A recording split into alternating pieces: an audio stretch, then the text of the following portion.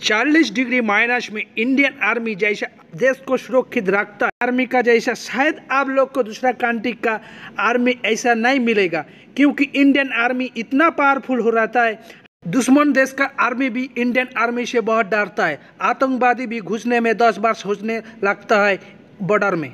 Hello दोस्तों, आप Indian army के बारे में क्या सोचते हो? कमेंट में बताइए और जय हिंद लिखने ना भूलिए और लाइक कीजिए और शेयर करिए।